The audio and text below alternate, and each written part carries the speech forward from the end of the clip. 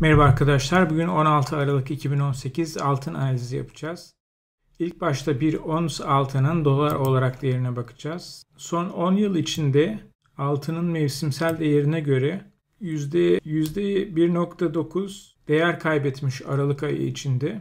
5 seneye bakarsak çok büyük artış olmamış. Kasım ayında hatta düşüş göstermiş. Kasım ayında düşüş göstermiş genel ilerleyişinde, istatistiksel ilerleyişinde.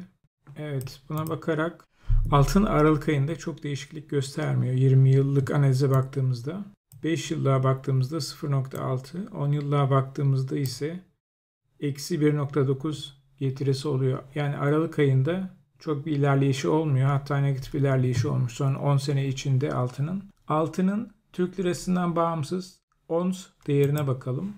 Bu altın grafiği Türk lirası değil dolar olarak gösterilmiş. Burada aylık grafiğe bakıyoruz. Altının uzun zamandır çok bir değişiklik göstermediğini, böyle bir alan içinde ilerlediğini görüyoruz. Hatta 2018 yılında bu trendi kırmış ve aşağıya doğru inmeye başlamış. 2018 yılında Ağustos ayında da düşmüş. Eylül ayında da düşmüş. Yani en son sadece çok az bir şekilde son 3 ayda ilerlemiş. Bu da çok az bir ilerleyiş, altının ilerleyişi. Her hafta yaptığım analizlerde de görüyorsunuz. Sadece %3.8 ilerlemiş son 3 ay içinde. Şimdi altının Türk lirası olarak değerine bakacağız. Aylık olarak değil haftalık olarak bakmamız gerekiyor. Altın Ağustos ayında Türk lirası olarak yükselmiş. Bu nasıl oluyor?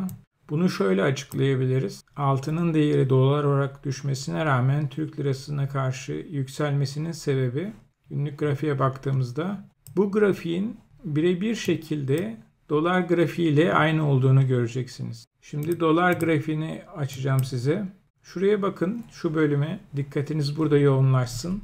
Videoyu ileri geri alabilirsiniz. Bu da dolar grafiği. Gördüğünüz gibi altın aslında değer kazanmıyor. Altın hatta değer kaybetmiş 2018 yılı içinde. Ama dolar değer kazandığı için altın bize değer kazanıyormuş gibi geliyor. Aynı şekilde Euro'ya da bakalım. Euro ile tabi daha az ilişkilidir. Euro da aynı grafiği gösteriyor bize.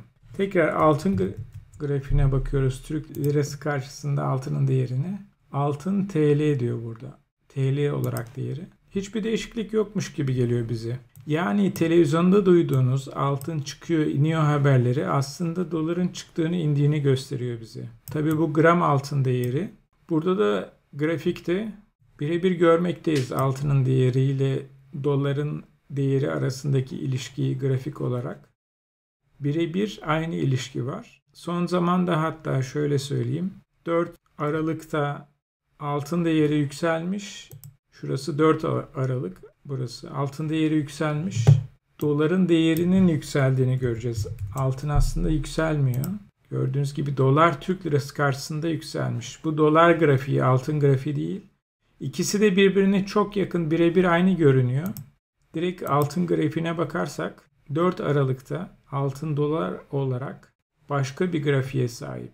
4 Aralık'ta burada da çıkmış ama bu şans eseri. Örneğin 11 Ekim'de burada altının değerinin çok çıktığını görüyoruz. Aynı şekilde Türk lirası altın değerine bakalım 11 Ekim. 11 Ekim şurası. 11 Ekim şurada burada düşmesine devam etmiş. Altın Türk lirası karşısında.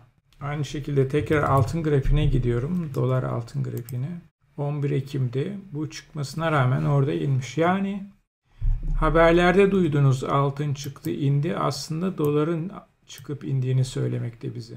Peki Türk lirası karşısında ne durumda ona bakalım.